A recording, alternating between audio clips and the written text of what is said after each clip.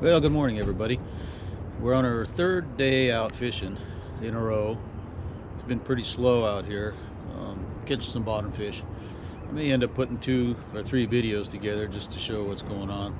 Not too much excitement when you bottom fish, just pretty much vertical stuff. But we're going to try it again today, and hopefully we can get some lingcod and maybe try for some petrale. It depends on what the ocean does for us today.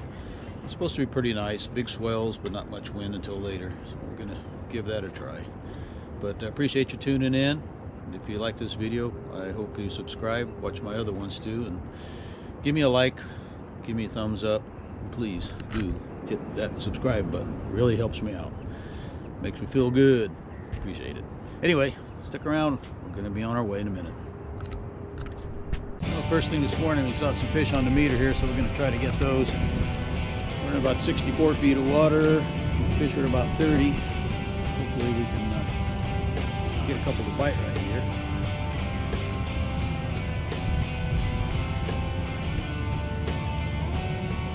First cast this morning I already had a bite, but I lost him trying to turn the camera on. So I just turned the camera on, let it run for a bit. It is a beautiful morning.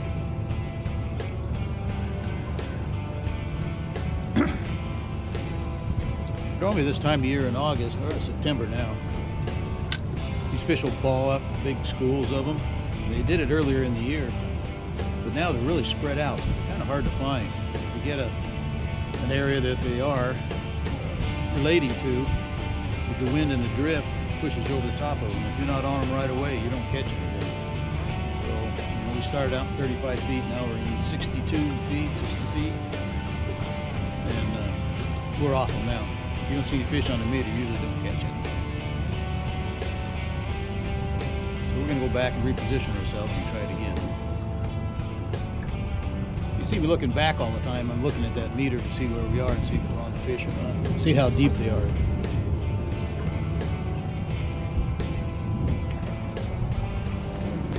Using a half ounce weight on these swim baits. Trying to get down to 60 feet of water with the boat moving in the current. Not real easy.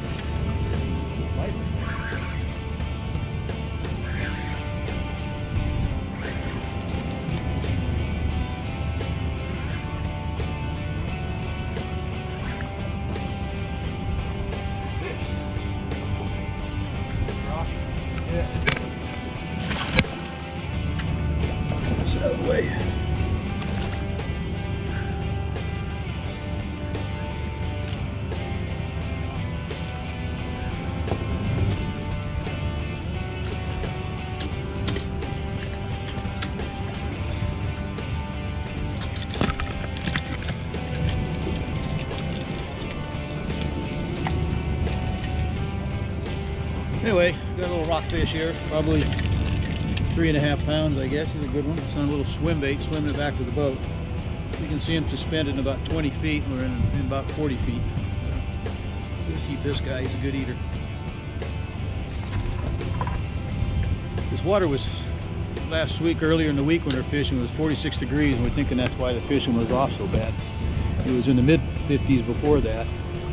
So yesterday got, last two days it got up to around 50, 52. We had a big hard blow last night. I mean, the wind just howling, 40 miles an hour. And uh, cooled his water off again. It's 46 degrees. I think it makes this fish a little bit lethargic. You really have to kind of entice them with small baits, something slow. So we'll just cast them behind the boat, retrieving down, let it sink down, which I think is 20 feet. That's how I got that bite on the last one. They're still real sporadic. There's no big schools of fish like the normal. I'll show you what we're looking at here. And this is kind of what all the fish we're seeing at one point.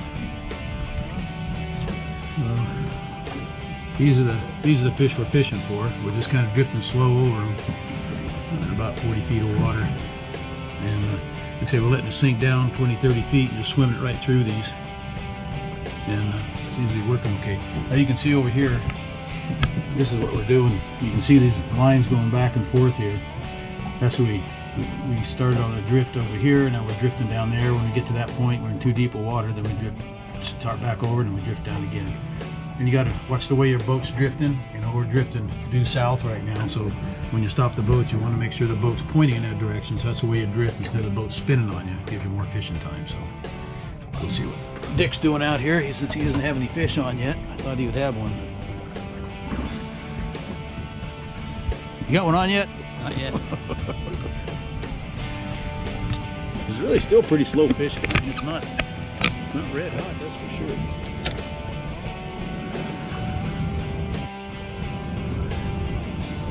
We found the fish feeding on top. I'm not sure what they're eating.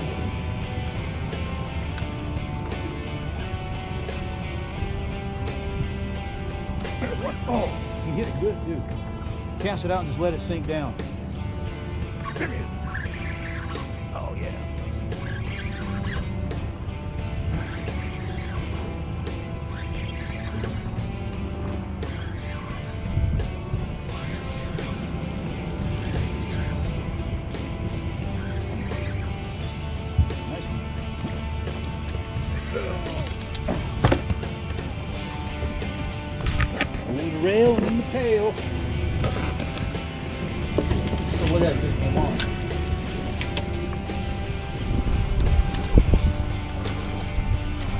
All right, where'd you go? Oh, there he is. Oh, he hammered it.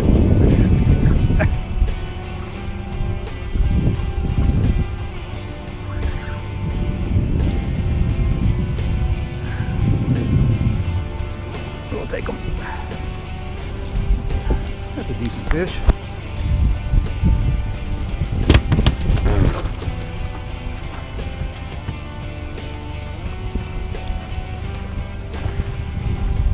Do that stop and go?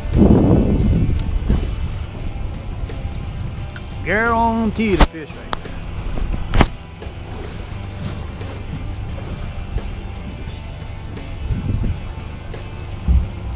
What, you don't like me over there?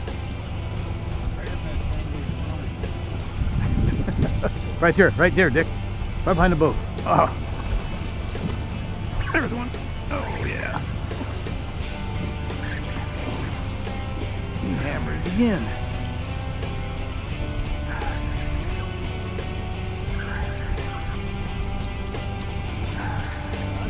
Yes, sir. It's a good one.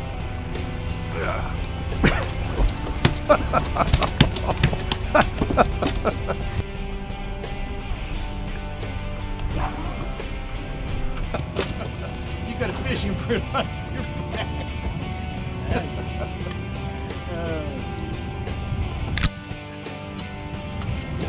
small one. Sorry about that.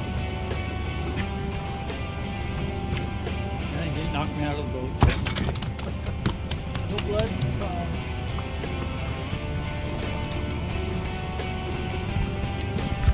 Yeah, I wish you guys could be here and do this. This really is a lot of fun. If you like this video, like some things I do, please hit that subscribe button and that like button too.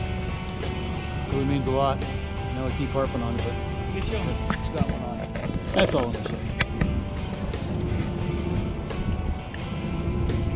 You better count. We might have close to the limit now.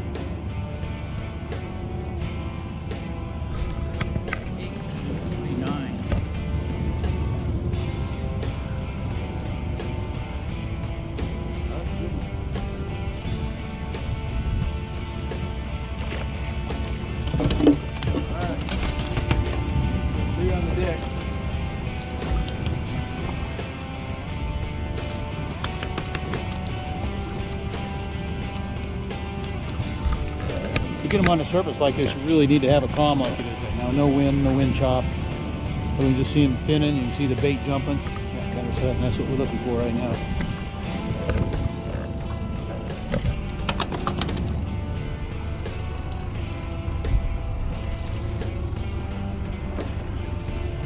So there's surfacing right here next to me. Oh, I just had a bite, Dick.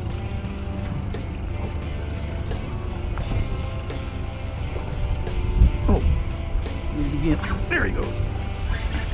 Oh, I lost him. Come back and hit it again. Keep hitting it. There he is. Oh. So we can see him down there. There he is. There he is. Oh, I hope I got that on camera. oh, there's like five or six. There he is again. Oh, man. Straight into the boat. I hope that was a Kim. There's four or five of them swatting at it. Oh, they're boiling right by the boat here. oh my gosh. As you can see, we caught some real nice rockfish. Dick gets to take some nice fish home with him. Now we're going to try for some lingcod. We did catch a few, just above keeper size. Uh, I think a 23 and a 26 incher. Those are good eating too, but I had a great time all in all. Get that, yeah, Dick. I just say beat him in the head. Yeah. There you go. Nice job.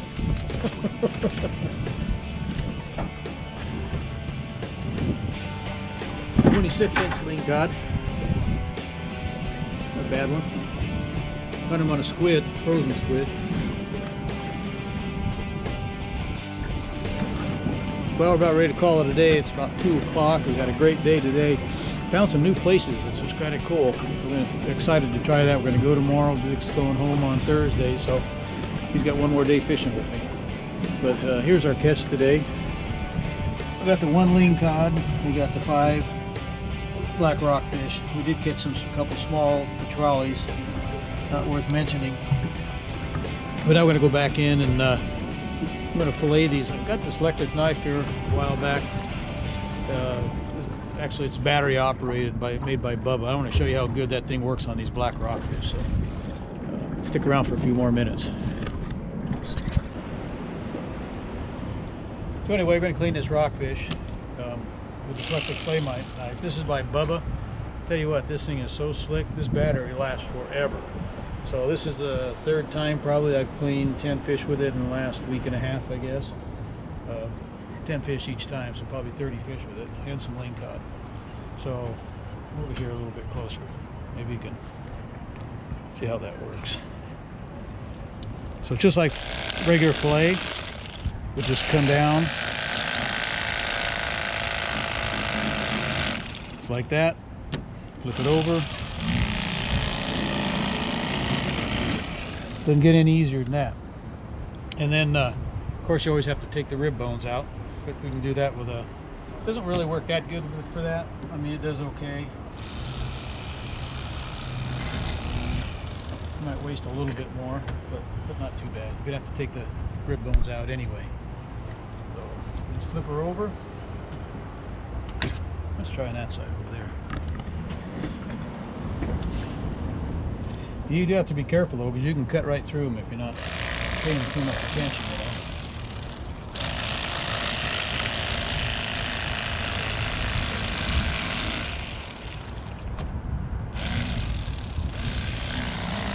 You we bled these fish too. Look at a nice piece of nice white meat you have there.